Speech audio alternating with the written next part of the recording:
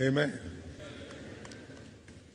Every man has a right,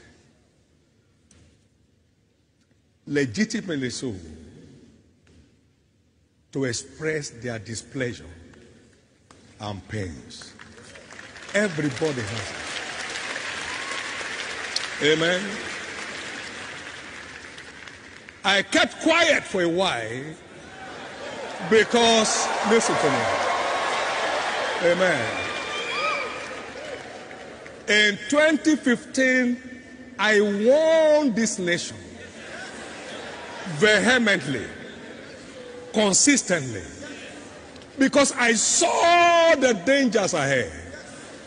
And you can tell. The most gruesome season in the history of this nation is the last five years, where lives have no value. Wanton killings here and there. Now they have faced the youth. And because they don't know who is next, they have a right to say no. Amen. Enough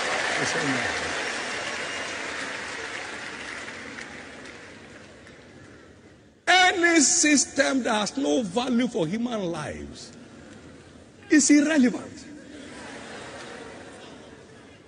If they were killed when they were youth, would they be where they are today?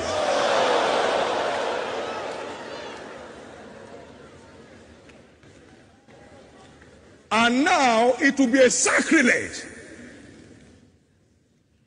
to shoot the protesters who are not looting, who are not ravaging. It- it- we just need to. Look, I I have been one of the few.